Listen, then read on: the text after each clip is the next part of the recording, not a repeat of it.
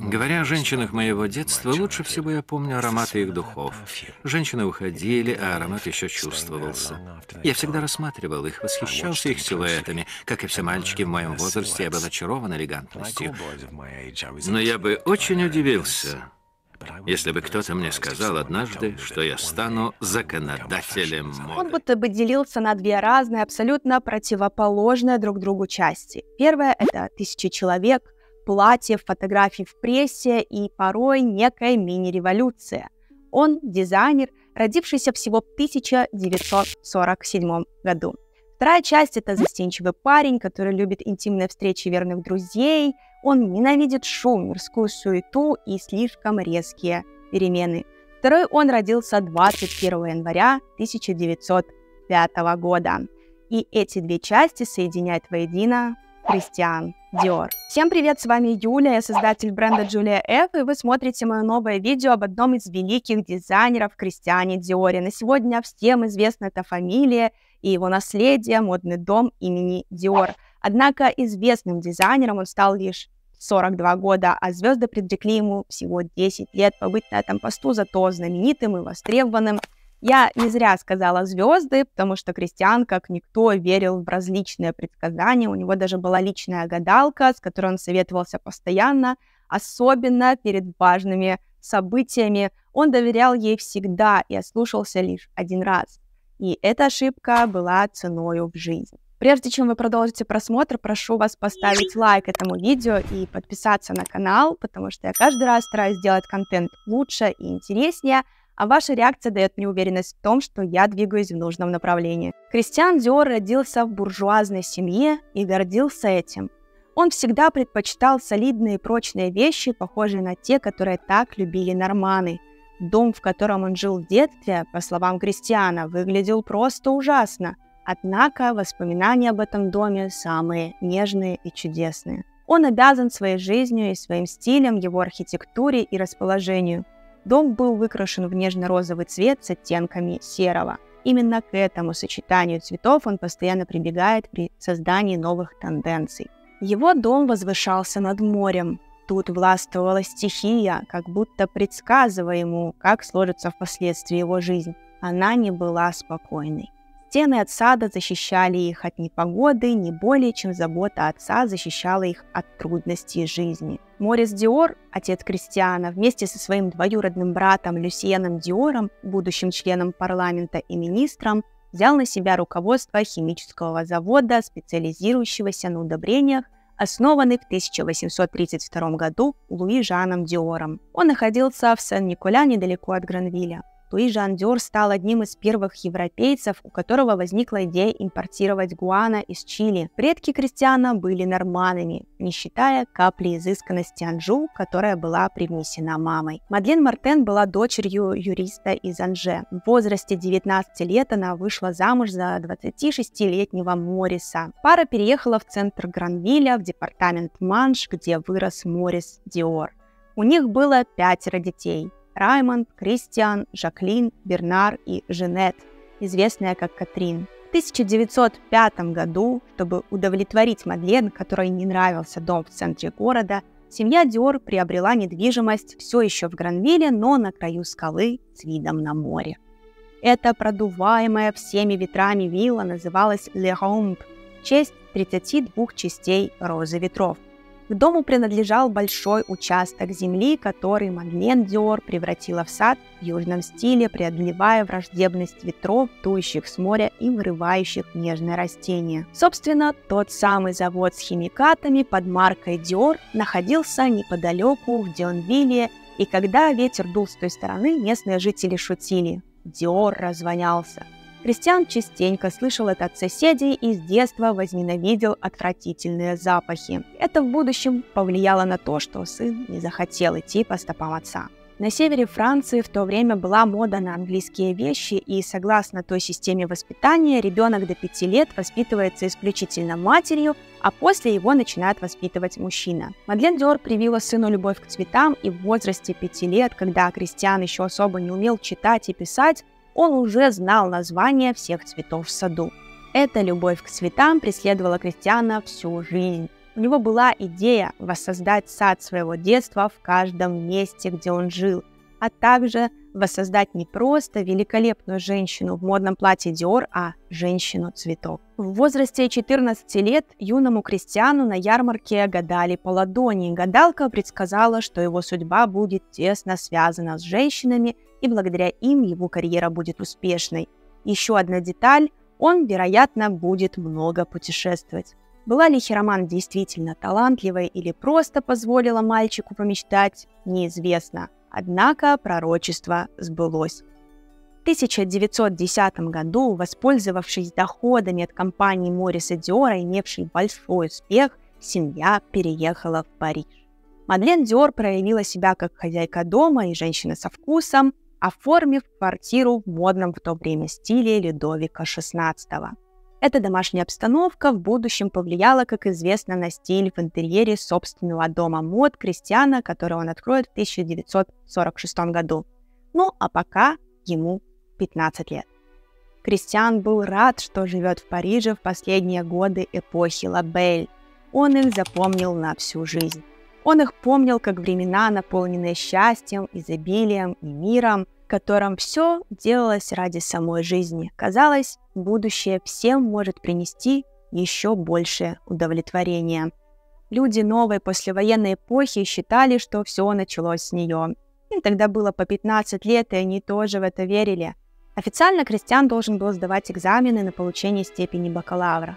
Уже тогда его окружали любители музыки, живописи, литературы, всего того, что выражало стиль нового искусства – ему ничего не оставалось, как исследовать все закоулки Нового Парижа. Он отличался космополитизмом и умом, они были рады тому, что живут в эти замечательные 20-е. Он очень любил архитектуру и сказал своей семье, что хочет изучить искусство. Это был вызов. Ты не должен вращаться в кругах богемы, но они ошибались, потому что одухотворяющая атмосфера повлияла на формирование вкуса крестьяна. Также здесь он нашел много друзей, которые были с ним до конца его жизни. Вскоре он познакомился с художником Кристианом Бираром. Кристиан покупал много этюдов и вдохновенных картин Бирара и развешивал на стенах в своей комнате. В те времена дружба была священным словом. В то время все были сплоченными. Все художники, все друзья. Выпросив деньги у отца, Кристиан открывает свою галерею вместе со своим другом Жаком Банжаном, взамен пообещав, что фамилия Диор не будет фигурировать нигде. «Мы намеревались, — говорит Кристиан, — устраивать там выставки, посвященные мастерам, которыми мы больше всего восхищались. Пикассо, Брак, Матисс, Дюфи, а также художникам, которых мы знали лично и уже высоко ценили — Кристиан Бирар, Сальвадор Дали, Макс Жакоб, братья Берман. Семья Диор прошла классический цикл развития. Сначала были основатели, затем предприниматели, а потом пришли другие – художники. Художники приходят в конце. После нескольких поколений воспитанных идеально появляются люди, которые больше интересуются искусством, нежели бизнесом. Когда такой момент наступает, становится понятно – это нечто вроде раскола между теми, кто приемлет дух торговли и буржуазной традиции, и теми, кто представляет собой последний цвет семьи. И, конечно, Кристиан Диор был самым красивым цветком семьи. Однажды в доме Диоров со стены сорвалось зеркало и разбилось в дребезги. Суеверный Кристиан понял быть беде. К несчастью, неудачи вошли в их счастливую, не знающую невзгод семью. 1930 году Бернар, младший брат, заболел серьезным нервным расстройством. Его мама, которую он просто обожал, несомненно утомленная тем, что происходило с ее сыном, умерла в следующем году.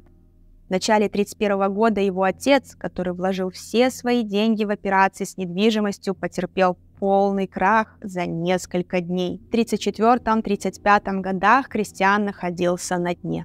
Его семья была разрушена, а он серьезно заболел туберкулезом. У него не было ни гроша, и все его друзья находились в таком же плачевном положении. Но все те же самые друзья, с которыми он сошелся в 20-е годы, достали для него деньги, чтобы он поехал на лечебный курорт Фон Роме, а потом на Балиарские острова, где смог бы восстановить здоровье после болезни. Несмотря на кризис, который все переживали, друзья дали деньги, чтобы помочь Кристиану. Вот так они любили его.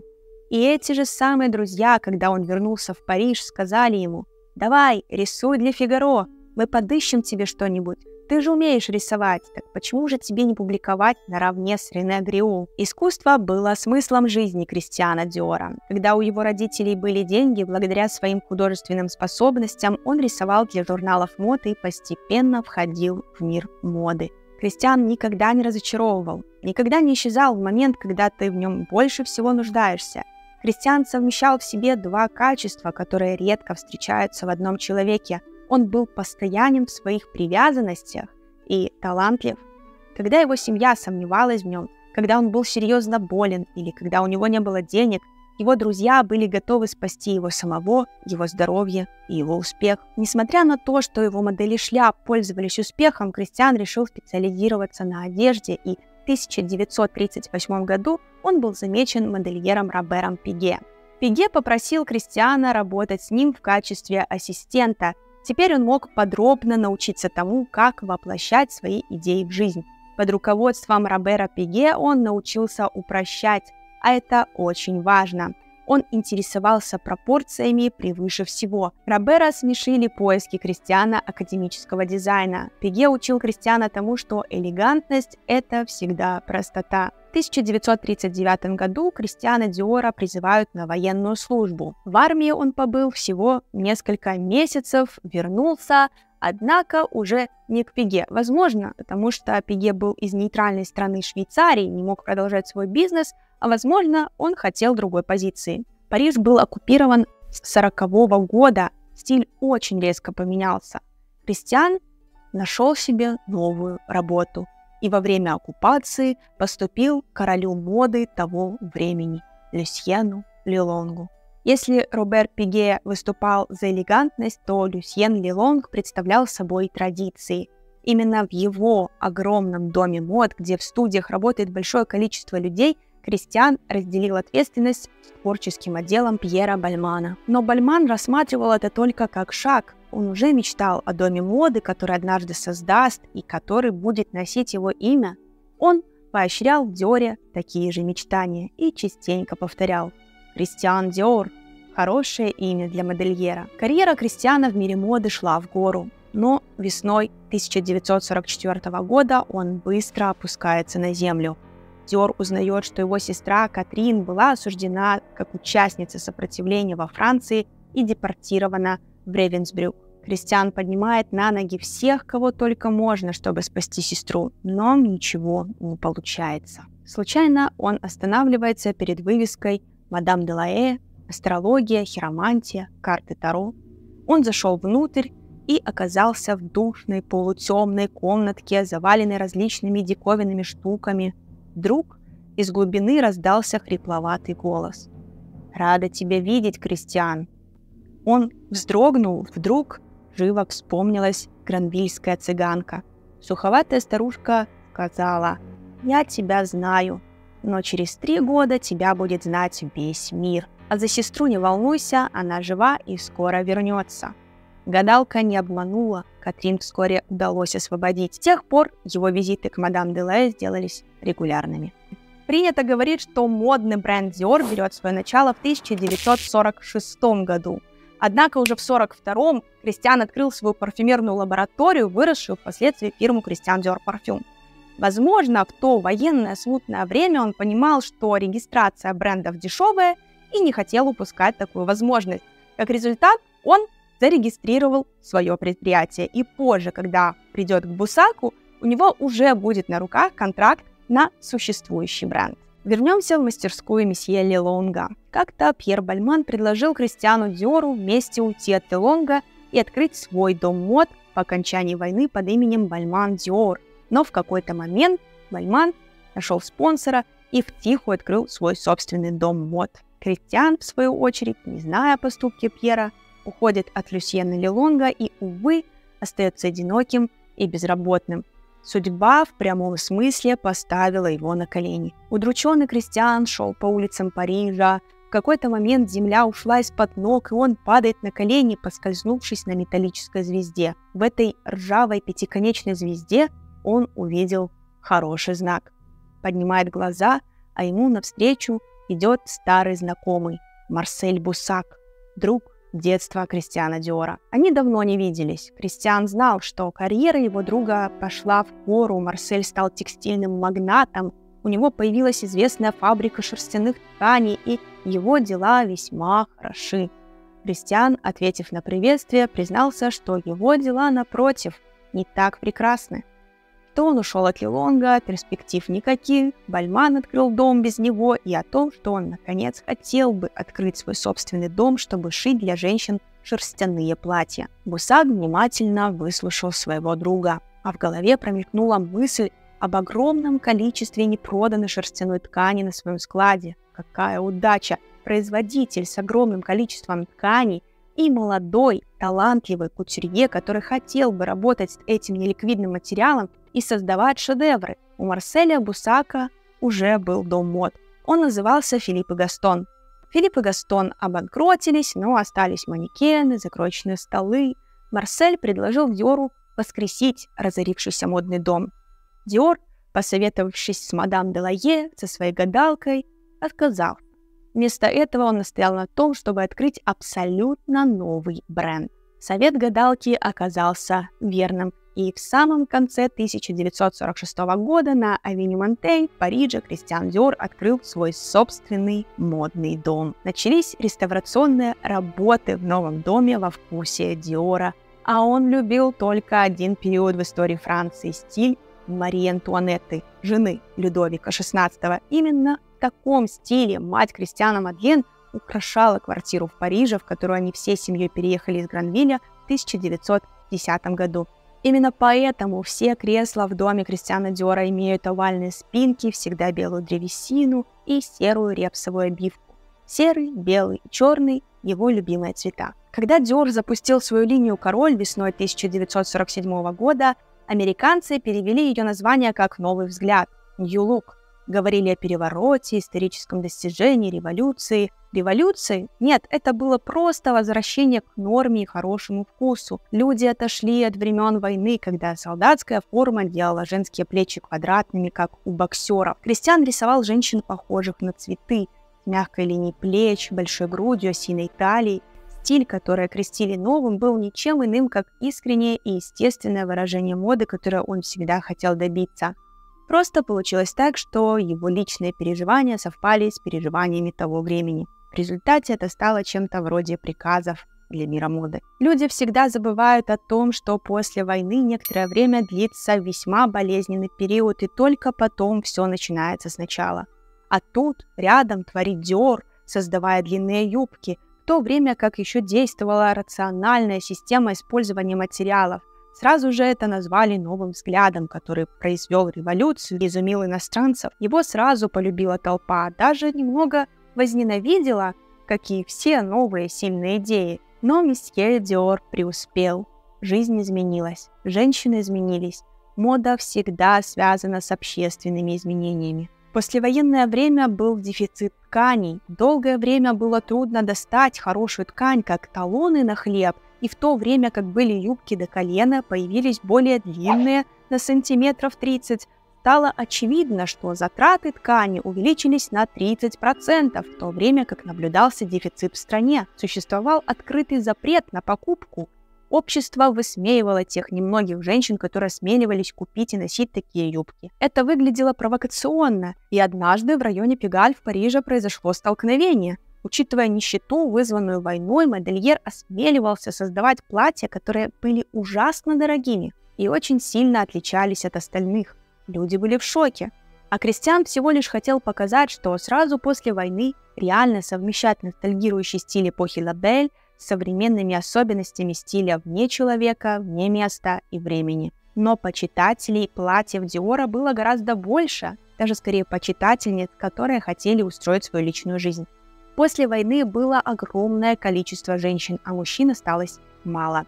И они обращали свое внимание на действительно женственных дам. Конкуренция. Талия, которую диктовал Диор, 47 сантиметров, была вполне уместна для дам, которые много лет сидели на диете не по своей воле. Но и грудь также была небольшой, а Кристиан создавал такие формы, которые вырисовывали грудь и бедра специальными накладками и подушечками. К слову, этот подход не привлекал Коко Шанель, которая с 1940 года не работала и до 54 14 лет модой не занималась. О Диоре она говорила, он не одевает женщин, он их набивает. Создавая свои модели, Диор использовал большие объемы подъюбников, которые пришлись не по вкусу и домохозяйкам. Известны фотографии во многих газетах и журналах, где домохозяйки разрывают платья прямо на манекенщицах от того, что им обидно, что они носят такие дорогие платья таким количеством ткани. Чтобы выйти победителем из войны ножниц, в которую Кристиан ввязался, ему нужен был первоклассный персонал. Реймон Зинакер, его правая рука, идеально дополняла его самого. Она помогала добиваться того качества, которое Диор сам бы не достиг. Она помогала выжить в мире моды, где он пока еще был новичком. Диору как раз нужен был посредник между его собственной студией мечты и мастерскими. С годами мадам Маргарет стала частью его, его портным, если так можно сказать. Мир может рухнуть, пока она работает, а она этого даже и не заметит. Мадам Брикар принадлежала к той редкой породе людей, которые делают элегантность смыслом своего существования. Такая целеустремленная натура, впадающая в крайности, могла сбалансировать слишком умеренный темперамент крестьяна, который он унаследовал от своих нормандских предков. Во время шоу и продаж на помощь его врожденной нормандской натуре приходила его подруга детства Сюзан Дулинг. Днем и ночью у нее хорошее настроение. Она заряжала энтузиазмом продавцов и клиентов в равной степени. В 1946 году студия Диора была такой маленькой, что приходилось работать даже на лестничной площадке. Архитекторы, декораторы, работники с персоналом и друзья все встречались на лестнице.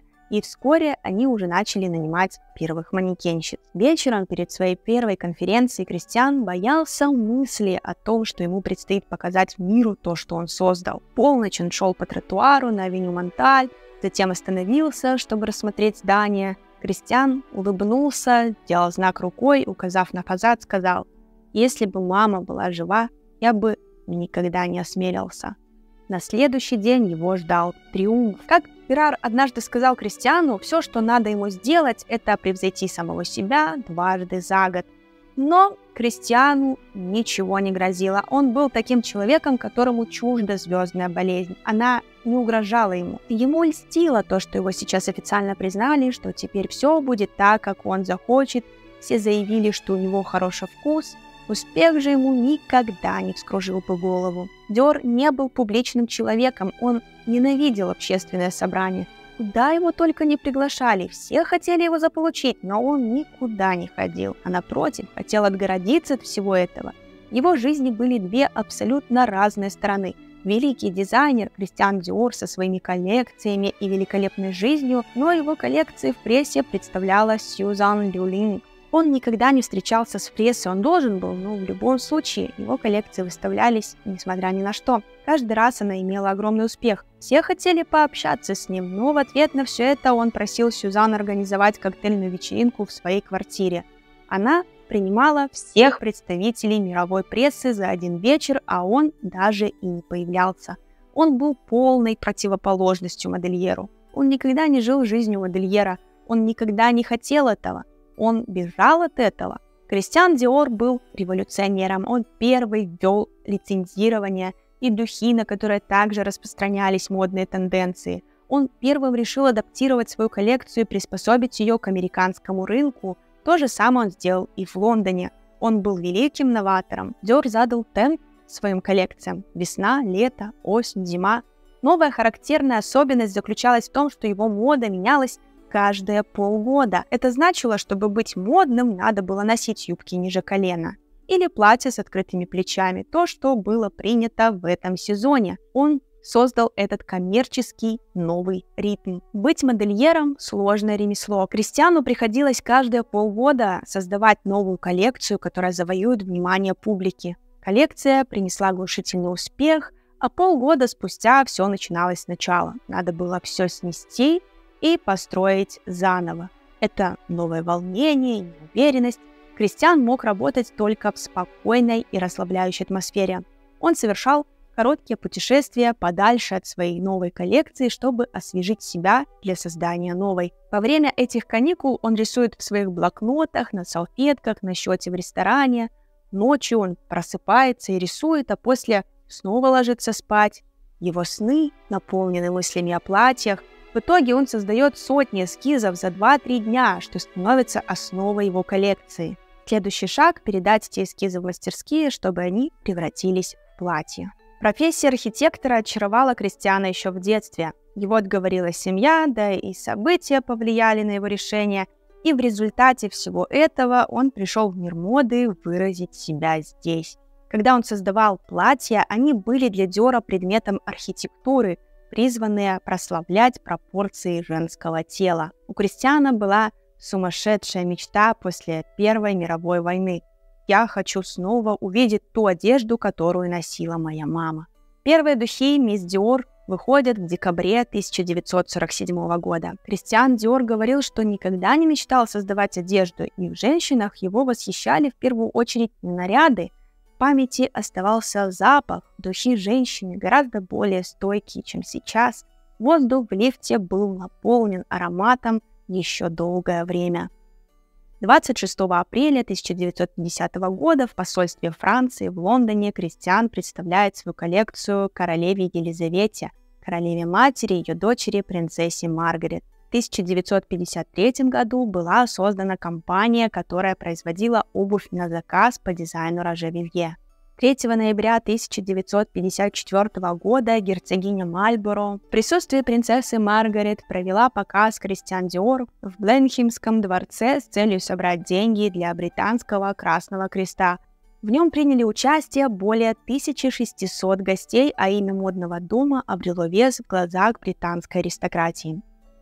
В 1956 году мир увидел Диариссимо, новый аромат, нотой сердца которого стал ландыш – Любимый цветок матери, ландыш, стал для знаменитого дизайнера талисманом. В 1954 году он создал модную коллекцию вечерних платьев под названием «Ландыш», которая стала самой яркой в его творчестве. Перед каждым показом новой коллекции модельер испытывал сильное волнение. Ландыш в качестве талисмана на удачу зашивали в подол платья манекенщицам, которые выходили на подиум. Наверное, Таким образом, Кристиану казалось, что он получает защиту и поддержку от любимой матери. Весной 1954 года дом Кристиан Диор достиг зрелого возраста и отпраздновал свой седьмой день рождения. Теперь он занимал пять зданий с 28 мастерскими, в доме работало более тысячи людей. Мельбурн, Австралия, 8 филиалов и 6 дочерних предприятий работали под флагом Диора на пяти континентах. Гавана, Куба, Токио, Япония, Венеция, Италия. Прошло 10 лет напряженной работы.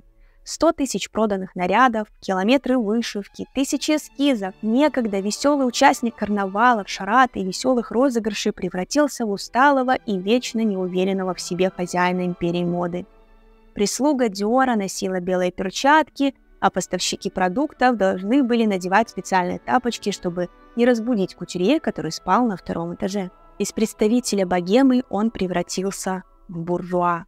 Но судьба готовила ему очередной сюрприз. Они встретились 13 марта 1956 года. Жак Бенита, марокканец еврейского происхождения, 20-летний певец, недавно приехавший завоевывать сцены Парижа. С момента знакомства они стали неразлучны. Жак никогда не использовал чувства Диора, в чем его подозревала госпожа Занакер. Он и сам был влюблен и принимал Кристиана таким, как он есть. Когда в Северной Африке начались военные конфликты и Жак был вынужден уехать из Франции, Диор организовал прощальный ужин. Первый раз в жизни он нарушил свои принципы абсолютной секретности, которая много лет соблюдал даже в компании друзей. Тоскуя перед неизбежной разлукой, Кристиан за ужином держал Жака за руку. К счастью, через три недели тому удалось вернуться. 1957 год. У окна, с тоской глядя на витрину кондитерской на противоположной стороне улицы, невысокий, корпулентный мужчина думает о своем доме с садом на юге Франции, об аромате согретых солнцем растений и о человеке, которого любит больше всего на свете. Но нужно работать над новой коллекцией. В сентябре Кристиан решил поехать на курорт, отдохнуть и сбросить пару килограммов. Предсказательница Делаге отговаривала его от этой поездки, но на сей раз он ее не послушал. Накануне перед отъездом Жак впервые позволил ему присутствовать на своем выступлении в кабаре. «Когда я вернусь из Италии», — обещал восхищенный Диор по дороге домой, «я помогу тебе сделать карьеру. Тебе больше ни о чем не надо будет беспокоиться. Вот увидишь, ты станешь знаменитым» и Диор от счастья начал танцевать прямо посреди Елисейских полей. На следующий день он сел на поезд и поехал в Италию. Но ему не суждено было вернуться в Париж, к Жаку.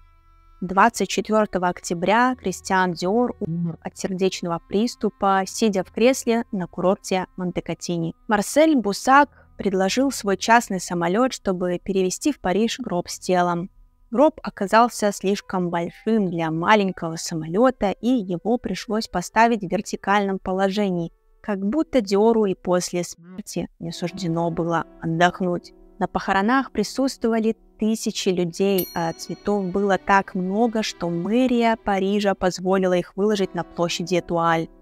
Кристиана Диора похоронили недалеко от дома, в котором он надеялся провести остаток жизни – Шато де ла Коль-Нуар – в Монтаро на юге Франции. Местный священник начал прощальную речь словами «Вы страдаете от горя, братья мои, но помните, Бог призвал Диора к себе, ибо теперь он должен одевать ангелов».